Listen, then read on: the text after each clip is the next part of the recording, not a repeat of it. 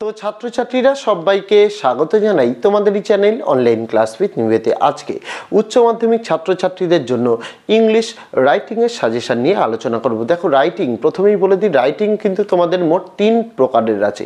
Reporting an event letter writing আর একটা precis writing আমি কিন্তু এত সব জিনিস নিয়ে আলোচনা করব না। তার কারণ কি?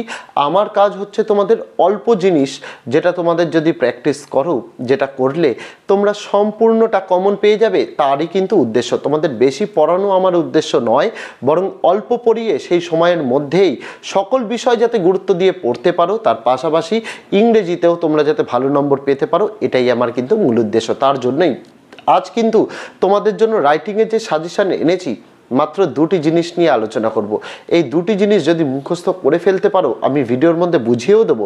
যদি মুখস্থ করে ফেলতে পারো, তোমাদের রাইটিংয়ে দশে দশ পেতে কেউ আটকাতে পারবে না। যদি ঠিকঠাক, তোমরা লিখে আসতে পারো। অর্থাৎ আজ এই ভিডিওতে আলোচনা করব তোমাদের উচ্চ মাধ্যমিকের রাইটিংয়ের মধ্যে সবচেয়ে প্রথমে যে রাইটিংটা আসে, অর্থাৎ reporting and event reporting and event মানে কি? অর্থাৎ তোমাদের স্কুলে সদ্য অনুষ্ঠিত হয়েছে একটি ঘটনা, সেটার ওপরে তোমাকে রিপোর্ট লিখতে হবে। সেটাকে বলা হয় রিপোর্টিং অ্যান্ড ইভেন্ট এই রিপোর্টিং অ্যান্ড ইভেন্টে কিন্তু তোমাদের কোনো অ্যাক্সিডেন্টের খবর আসে না। বরং স্কুলে উদযাপন করা হয় এমন সব জিনিস, তার উপরে রিপোর্ট রাইটিং লিখতে দেওয়া হয়ে থাকে এবং সেইটার উপর বেসিস করেই মাত্র দুটি ফরম্যাট তোমাদের জন্য নিয়ে এসেছি। যেখানে তোমাদের জন্য প্রথম ফরম্যাটে আলোচনা করব স্কুলে যে কোনো ধরনের প্রোগ্রাম বা যে কোনো ধরনের ফাংশান সেটা যদি অনুষ্ঠিত হয়, তার জন্য যদি যে কোনো টপিকের ওপরে রিপোর্ট লিখতে বলে সেটা কীভাবে লিখবে? তার একটি ফরম্যাট আর একটা হচ্ছে স্কুলের তরফ থেকে যদি কোনো বন্যাত্রস্ত বা কোনো অসহযোগী লোকেদের সাহায্য করা হয়ে থাকে, তার জন্য স্কুলের তরফ থেকে যে রিপোর্টিং অ্যান্ড ইভেন্ট তার উপরে মাত্র দুটি তোমাদের কিন্তু রিপোর্ট রাইটিংয়ের ফরম্যাট যে দুটি রিপোর্ট রাইটিংয়ের ফরম্যাট যদি মুখস্থ করো হান্ড্রেড পারসেন্টভাবে তোমরা পৃথিবীর যে কোনো রিপোর্ট দিক না কেন তোমরা উত্তর লিখে আসতে পারবে এবং শুধু উত্তর লিখে আসবে না, দশে দশ পাবে। অর্থাৎ রাইটিং নিয়ে তোমাদের কোনো চিন্তা করতে হবে না, যেটা পূর্বের ভিডিওতেও বলেছি, যে আমার কাজ তোমাদের কিন্তু কমন দেওয়া, আমার কাজ তোমাদের ঠিক গাইডেন্স দেওয়া। আমার কাজ তোমাদের সমস্ত বিষয়গুলো মুখস্থ করানো নয় বা আমার কাজ তোমাদের সমস্ত প্রশ্ন উত্তর পড়ানো নয়। আমার কাজ যেটুকু তোমাদের পরীক্ষার জন্য গুরুত্বপূর্ণ, যেটুকু তোমাদের জন্য জানা প্রয়োজন, সমস্তটা তোমাদের এই ভিডিওর মাধ্যমে দিয়ে দেবো। তার জন্য ভিডিওটি অবশ্যই দেখো এবং ভিডিওটিতে যে টপিকগুলো নিয়ে আলোচনা করব, যে ফরম্যাটগুলো নিয়ে আলোচনা করব, তার ফ্রি পিডিএফ আমি দিয়ে দেবো। তার জন্য কিন্তু ভিডিওটা প্রথম থেকে শেষ পর্যন্ত দেখতে হবে। কারণ এই ভিডিওতে যে দুটো টপিক রয়েছে, আমি যেরকমভাবে বোঝাবো, যদি একটু বুঝতে না পারো তাহলে কিন্তু রিপোর্ট লিখতে পারবে না। তো ভিডিওটা তো সম্পূর্ণ দেখতেই হচ্ছে। আর যেহেতু ভিডিওটা তুমি বা তোমরা সম্পূর্ণ দেখছ, তার গিফট হিসেবে আমি এই রাইটিংয়ের তোমাদের ফ্রি পিডিএফ দেবো। কারণ ভিডিওর মধ্যে তোমাদের জন্য ফ্রি পিডিএফ এর পাসওয়ার্ড বলা থাকবে এবং ডেসক্রিপশনে দেওয়া থাকবে। ফ্রি পিডিএফ ডাউনলোডের লিঙ্ক সেখানে যখনই ক্লিক করবে, একটি পাসওয়ার্ড চাইবে। পাসওয়ার্ডটি আমি ভিডিওর মধ্যে যখনই বলব, সম্পূর্ণ ছোট হাতের দিয়ে তোমরা এই ভিডিওর পিডিএফটি কিন্তু ডাউনলোড করে নিতে পারো। তাছাড়া তোমাদের জন্য এই ভিডিওর ডেসক্রিপশনে অনেকগুলো প্লেলিস্টের লিঙ্ক এবং ভিডিওর লিঙ্ক দেওয়া থাকবে। যেখানে উচ্চ মাধ্যমিকে ইংরেজিতে কীভাবে পড়লে অল্প পড়েও আশিতে আশি নম্বর কমন পাবে, সেই ভিডিওর লিঙ্ক দিয়ে দেবো। তার পাশাপাশি তোমাদের জন্য উচ্চ মাধ্যমিকের বড় প্রশ্ন, ছোট প্রশ্ন রাইটিং গ্রামারের তোমাদের জন্য যে ভিডিও এনেছি উত্তর সহ তার লিঙ্ক দিয়ে দেবো। তার পাশাপাশি তোমাদের বাংলা, ইংরেজির সমস্ত বিষয়ের যে সকল ফ্রি পিডিএফগুলো এনেছি, একদম উত্তর সহ সেটা ছোট প্রশ্নই হোক, বড় প্রশ্ন হোক, তার প্লেলিস্টের লিঙ্ক দিয়ে দেবো। অবশ্যই সেখান থেকে কিন্তু তোমরা ভিডিওগুলো দেখো, কারণ আমাদের চ্যানেলে তোমরা পাবে টু দ্য পয়েন্ট প্রশ্ন উত্তর। যেটুকু তোমাদের পরীক্ষার জন্য পড়তে হবে, ততটুকু যেগুলো তোমরা পড়লে ভালো নম্বর পাবে এবং আমাদের মূল উদ্দেশ্য সেইগুলোই। তো অবশ্যই ভিডিও দেখা হয়ে গেলে সেই লিঙ্কগুলো কিন্তু ভিজিট করতে ভুলো না। তো যারা চ্যানেলে নতুন, আগামী দিনগুলোতেও আমাদের চ্যানেলের মাধ্যমেই শুধুমাত্র বাংলা বা ইংরেজি নয়, তোমাদের আর্টসের সমস্ত বিষয়ের প্রশ্ন উত্তর এই রকম সাজেশান উত্তর সহ পেয়ে যাওয়ার জন্য যদি চ্যানেলটিকে এখনও সাবস্ক্রাইব না করা হয়ে থাকে, অবশ্যই চ্যানেলটিকে সাবস্ক্রাইব করে দিয়ে পাশে থাকা বেল আইকনটাকে ক্লিক করে দেওয়ার অনুরোধ রইল। আগামী দিনে সমস্ত রকমের ভিডিও এবং আপডেট সবার আগে পেয়ে যাওয়ার জন্য। তো চলো শুরু করা যাক আজকের ভিডিওটি দেখো এইচএস এর ভাই বোনেরা তোমাদের বলি, যেহেতু তোমাদের তিন প্রকারের রাইটিং আছে reporting and event letter writing আর হচ্ছে তোমাদের প্রেসিস রাইটিং তার মধ্যে প্রেসিস রাইটিংয়ের কোনো সাজেশন হয় না সামারি রাইটিং যে কোনো কিছু তোমাদের লিখতে হবে ওখান থেকে দিয়ে দিলে, অর্থাৎ বিষয় সংক্ষেপ লিখতে হবে। লেটার রাইটিংয়ে এডিটোরিয়াল লেটার রাইটিং বছর আসছে না, কিন্তু আরও অনেক ধরনের লেটার রাইটিং আছে যেগুলো আসতে পারে। তার নির্দিষ্ট কোনো ফরম্যাট নেই। কিন্তু ফরম্যাট আছে কিসের? রিপোর্টিং অ্যান্ড ইভেন্টের যেখান থেকে প্রতি বছর একটি করে প্রশ্ন আসবেই। এবং আমি মনে করি ছাত্রছাত্রীদের পক্ষে সব থেকে ইজি যদি কিছু হয়ে থাকে, তাহলে রিপোর্টিং অ্যান্ড ইভেন্ট কারণ এই রিপোর্টিং অ্যান্ড ইভেন্ট তোমাকে পরীক্ষায় একটি লিখতে দেবেই। অর্থাৎ তোমার বিদ্যালয়ে এমন কোনো অনুষ্ঠান হয়েছে যেটা নিয়ে তোমাকে একটা রিপোর্ট রাইটিং লিখতে হবে। তার জন্যই এটার নাম reporting and event reporting and event মানে এই নয় যে কোনো জায়গায় অ্যাক্সিডেন্ট হয়েছে, সেই ঘটনার তোমাকে রিপোর্ট লিখতে হবে। এই রকম কিন্তু নয়। রিপোর্টিং অ্যান্ড ইভেন্ট মানে তোমার বিদ্যালয়ে হয়ে গিয়েছে এমন কাজ, সেটা নিয়ে তোমাকে রিপোর্ট লিখতে হবে। আর তার জন্য মাত্র দুটি ফরম্যাট তোমাদের জন্য নিয়ে এসেছি, যার বাংলা মানে সহ তোমাদের বুঝিয়ে দেবো, কোথায় কী লিখতে হবে বুঝিয়ে দেবো।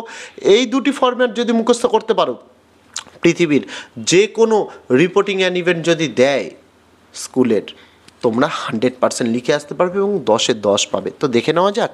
প্রথম ফরম্যাটটি হচ্ছে প্রোগ্রাম অথবা ফাংশন রিপোর্ট ফর্ম্যাট অর্থাৎ স্কুলে কোনো প্রোগ্রাম হলো বা ফাংশন হলো, তার উপরে রিপোর্ট রাইটিং যদি বা রিপোর্টিং অ্যান্ড ইভেন্ট লিখতে পারে, তার ফর্ম্যাট কীরকম হবে? প্রোগ্রাম বলতে তোমাদের নেতাজি সুভাষচন্দ্র বোসের জন্মদিন হতে পারে, প্রজাতন্ত্র দিবস হতে পারে, রবীন্দ্র জন্মজয়ন্তী হতে পারে টিচার্স ডে হতে পারে ফেয়ারেল অনুষ্ঠান হতে পারে।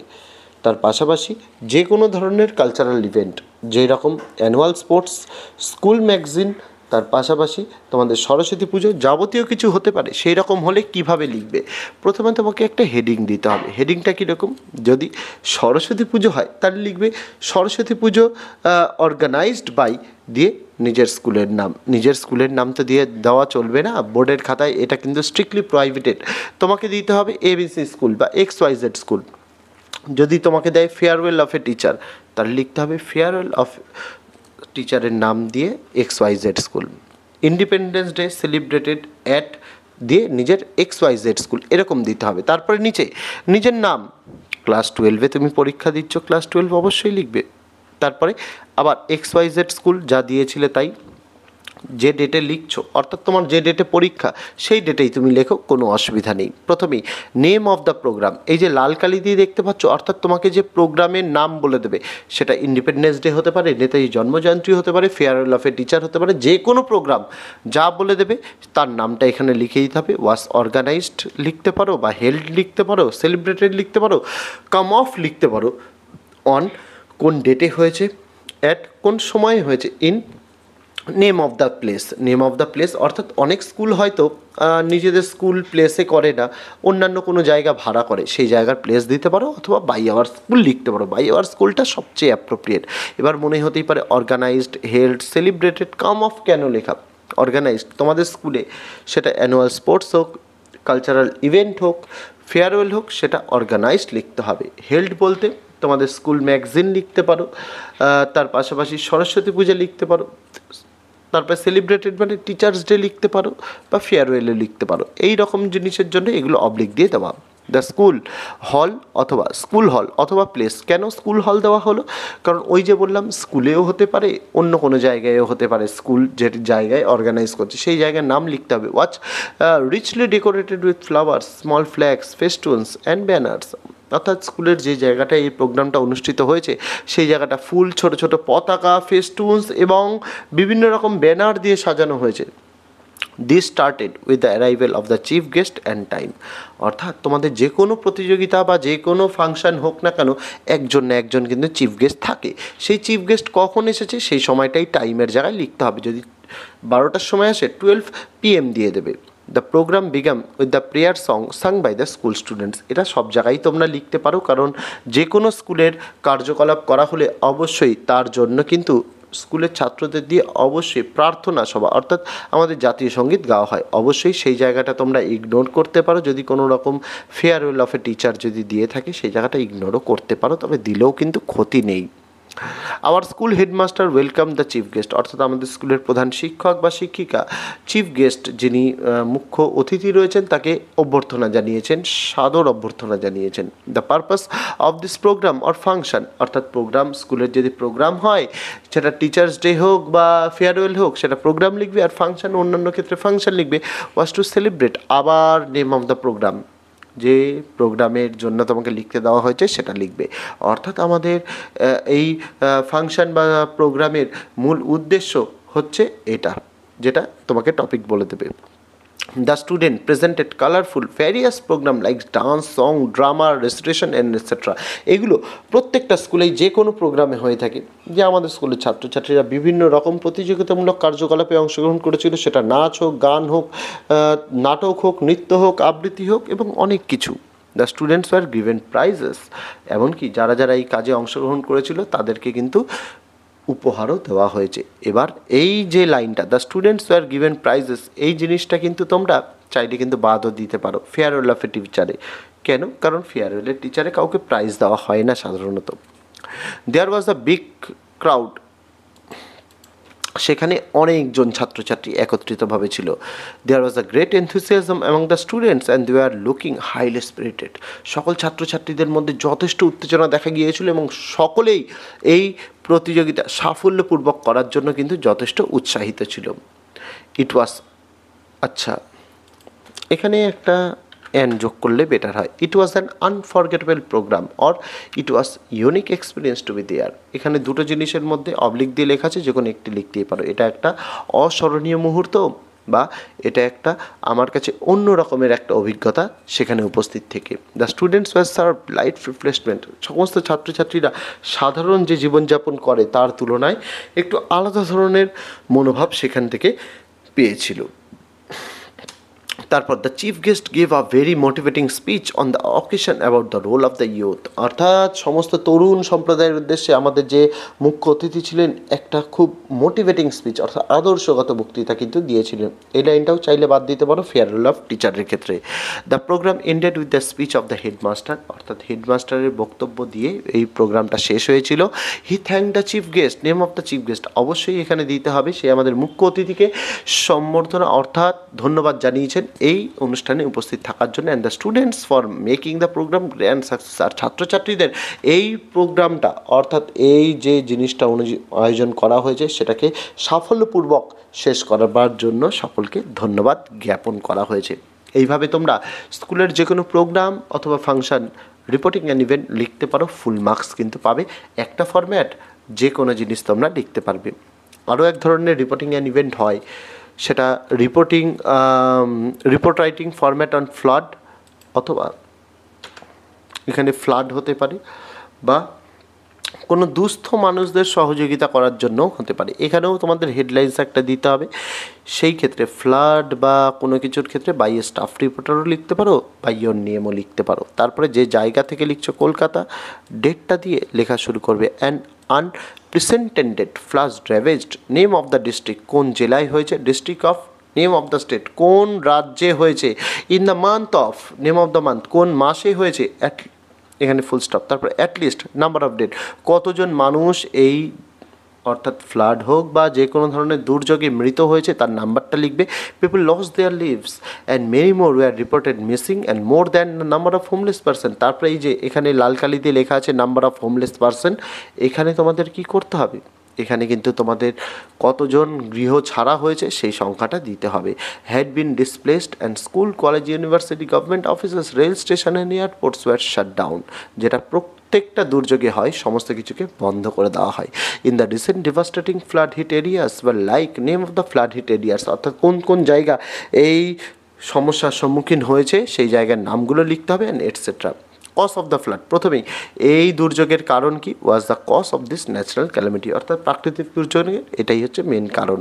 All the mud houses and some buildings had collapsed and people became homeless অর্থাৎ সমস্ত মানুষ, অর্থাৎ যে মাটির ঘরগুলো ছিল, কিছু কিছু বাড়ি ছিল, সেগুলো ধসে পড়েছে এবং বহু মানুষ এখান থেকে গৃহ ছাড়া হয়েছে। আর তোমাদের এই ভিডিওর ফ্রি পিডিএফের পাসওয়ার্ড হয়ে যাবে পেজ পি এ জিই সম্পূর্ণ small লেটারে people took shelter In school college church and temple সমস্ত মানুষ কোথায় আশ্রয় হারা হয়ে কোথায় মানে আশ্রয় নেবে স্কুলে নেবে কলেজে নেবে চার্চে নেবে অথবা মন্দিরে নেবে besides huge quantity of crops had been destroyed by as the agricultural fields were deep water and the cattle were washed away. A large area of the state became inaccessible as about 10,000 kilometers roads were underwater and destroyed or damaged. Telecommunication system was also damaged, electricity supply had been stopped. The government took various steps of relief work. Packets of dry food and bottles were pure drinking water were sent to the affected areas or thrown from helicopters. Various voluntary organizations were busy relief work. তো এই ছিল তোমাদের report রাইটিংয়ের যে দুটি format তোমাদের সকলেরই জানা প্রয়োজন এবং এই দুটো ফরম্যাট যদি প্র্যাকটিস করো এখান থেকে চিন্তা করার দরকার নেই। যাই রিপোর্টিং অ্যান্ড ইভেন্ট দিক, তোমাদের ক্লাস টুয়েলভের জন্য। হান্ড্রেড পারসেন্ট করে তো আসতে পারবেই, ভালো নম্বরই পাবে। একদম লেটারের দিকে যেতে হবে না প্রেসিসের দিকে যেতে হবে না। যদি এই দুটো ফর্ম্যাট মুখস্থ করো, পৃথিবীর যে কোনো রিপোর্টিং অ্যান্ড ইভেন্ট তোমাদের উচ্চ মাধ্যমিক দু হাজার চব্বিশে আসবে, তার জন্য হান্ড্রেড পারসেন্ট তোমরা কিন্তু সাফল্য পাবে। বিগত বছরের ছাত্রছাত্রীরাও এই ফর্ম্যাট পরেই সাফল্য পেয়েছে। তোমরাও পাবে, তার কিন্তু কোনো ব্যতিক্রম হবে না। তার মূল কারণ কি? বিগত দশ বছরে যদি প্রশ্নপত্র দেখো, তাহলেও তোমরা বুঝতে পারবে সাবজেক্টের জায়গায় এই টপিকগুলো বসিয়ে দিলে এই রিপোর্টিং অ্যান্ড ইভেন্টটা কতটা একটা অ্যাপ্রোপ্রিয়েট একটা রিপোর্ট হবে। যেটা এর আগে তোমরা কোথাও গোটা ইউটিউব খুঁজলে পাবে না, আমরা যেটা ফ্রি পিডিএফ সহ দিলাম। ফ্রি পিডিএফের কথা থেকে মনে আসলো, ভিডিওর মধ্যে পাসওয়ার্ড দিয়ে দিয়েছি ডেসক্রিপশানে দেওয়া ফ্রি পিডিএফ ডাউনলোডের লিঙ্ক সেখান থেকে অবশ্যই তোমরা কিন্তু এই পিডিএফটা ডাউনলোড করে নিতে পারো। তো আজকে ভিডিওতে এটুকুই ছিল ছাত্রছাত্রীরা, দেখা হচ্ছে তোমাদের সঙ্গে আগামী দিন অন্য কোনো বিষয়, অন্য কোনো ভিডিও নিয়ে। ততদিন সকলে ভালো থেকো, সুস্থ থেকো। দেখো